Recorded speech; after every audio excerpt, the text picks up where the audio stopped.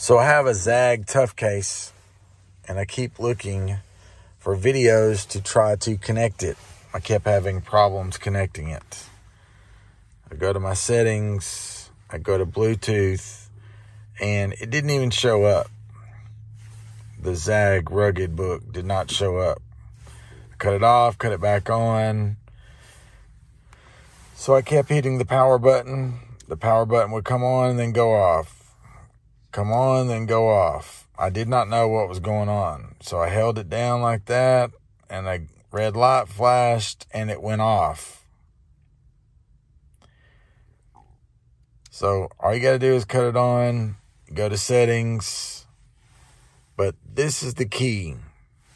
This button right here. It's got a little Bluetooth symbol on it. If you hit that, it will take you into pairing.